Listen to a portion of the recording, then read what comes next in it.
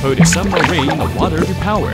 The remote control only works when the light is on. When the submarine leaves the water, the power is cut off automatically.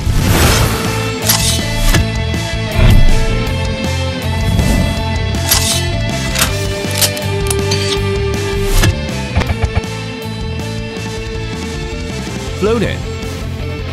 in. If you want to keep diving, you need to keep pressing the button. Forward.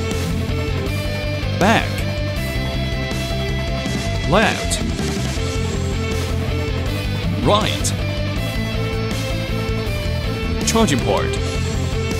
YEIBOBO. 6 channels mini RC submarine toy.